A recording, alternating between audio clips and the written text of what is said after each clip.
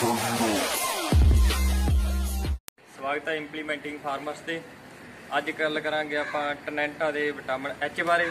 ਇਹ ਆਪਾਂ ਐਨੀਮਲ ਨੂੰ ਕਿਹੜੀ ਕੰਡੀਸ਼ਨ ਵਿੱਚ ਦੇਣਾ ਹੈ ਤੇ ਕਿੰਨੀ ਇਹਦੀ ਡੋਜ਼ ਹੈ ਤੇ ਆਪਾਂ ਕਿਉਂ ਦੇਣਾ ਹੈ। ਇਹ ਵਿਟਾਮਿਨ ਐਚ ਆਪਣੇ ਐਨੀਮਲ ਦਾ ਅਡਰ ਦਾ ਟਿਸ਼ੂ ਦਾ ਵਿਕਾਸ ਕਰਦਾ ਹੈ। ਅਡਰ ਐਨੀਮਲ ਵੱਡਾ ਬਣਾਉਂਦਾ ਆਪਣਾ ਇਸ ਦੇ ਨਾਲ। ਤੇ ਇਹਨਾਂ ਮੈਸਟੈਟਿਸ ਦੇ ਚਾਂਸਸ ਘਟ ਜਾਂਦੇ ਹਨ। ਅਤੇ ਮੈਸਟੈਟਿਸ ਬਹੁਤ ਘੱਟ ਹੁੰਦਾ ਹੈ। ਆਪਣੇ ਵੈਟਰਨੇਰੀਅਨ ਨਾਲ ਸਲਾਹ ਕਰਕੇ ਫਿਰ ਇਹ ਆਪਣੇ ਐਨੀਮਲ ਨੂੰ ਦੇਣਾ ਹੈ।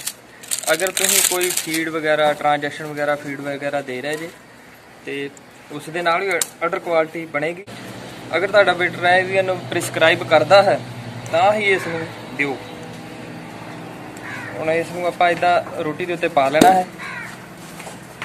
ਇਸ ਤਰ੍ਹਾਂ ਰੋਟੀ ਦੇ ਉੱਤੇ ਪਾ ਕੇ ਤੇ ਆਪਣਾ ਐਨੀਮਲ ਇਸ ਨੂੰ ਆਰਾਮ ਨਾਲ ਖਾ ਲੇਗਾ ਉਸ ਦੇ ਮੂੰਹ ਵਿੱਚ ਦੇ ਦਿਓ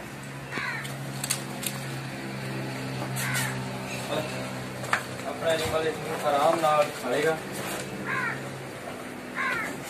ਬਸ। ਇਹ ਆਪਾਂ ਆਪਣੇ ਐਨੀਮਲ ਨੂੰ ਲਾਸਟ ਮੰਥ ਵਿੱਚ ਦੇ ਸਕਦੇ ਹਾਂ 20 25 ਦਿਨ ਪਹਿਲਾਂ ਸੂਣ ਤੋਂ। ਇਸ ਦੇ ਨਾਲ ਲੈਟਰ ਕੁਆਲਿਟੀ ਅੱਛੀ ਬਣੇਗੀ। ਕੋਈ ਫੀਡ ਵਗੈਰਾ ਆਪਾਂ ਜਿੱਦਾਂ ਟ੍ਰਾਂਜੈਕਸ਼ਨ ਮਿਕਸ ਉਹ ਵੀ ਆਪਾਂ ਆਪਣੇ ਐਨੀਮਲ ਨੂੰ ਪਾ ਸਕਦੇ ਹਾਂ। ਉਸ ਦੇ ਨਾਲ ਲੈਟਰ ਕੁਆਲਿਟੀ ਅੱਛੀ ਬਣੇਗੀ। ਆਪਣਾ ਐਨੀਮਲ ਸੂਏਗਾ ਤੇ ਜੇਰ ਵੀ ਜਲਦੀ ਪਾ ਦੇਗਾ ਅਤੇ ਬਹੁਤ ਹੀ ਵਧੀਆ ਰਿਜ਼ਲਟ ਮਿਲੇਗਾ। ਉਸ ਨਾਲ ਆਪਣੇ ਨੈਗੇਟਿਵ એનર્ਜੀ ਵਿੱਚ ਆਪਣਾ ਐਨੀਮਲ ਨਹੀਂ ਜਾਏਗਾ।